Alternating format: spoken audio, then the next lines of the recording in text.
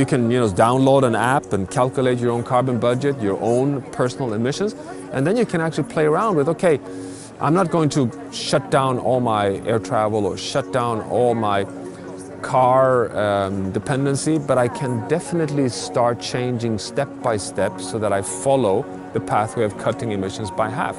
And I can assure you that it won't be such an enormous big step for, for most of us.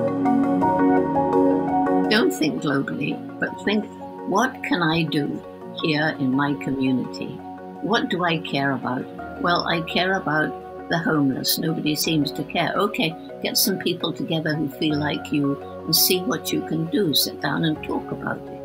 Or if you're a kid, you can clear litter off the streets and prevent it going into the rivers and polluting the sea and killing animals.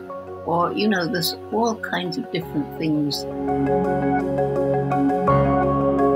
Can't just uh, produce a lot of, of uh, electricity saving light bulbs and then add uh, hundreds and thousands of light bulbs on the Christmas trees and around the house just because you, you are saving energy. It's a contradiction there in the thinking that we are seeking alternative energy sources to continue our patterns as before, not to put demands to the society at large and individuals to rethink their and it's my own too, patterns. But actually that's why I use my guksi.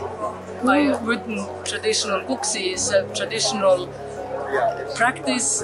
It's to demonstrate that traditional practice has something to contribute with to climate mitigation by saving plastic cups and dishwashing.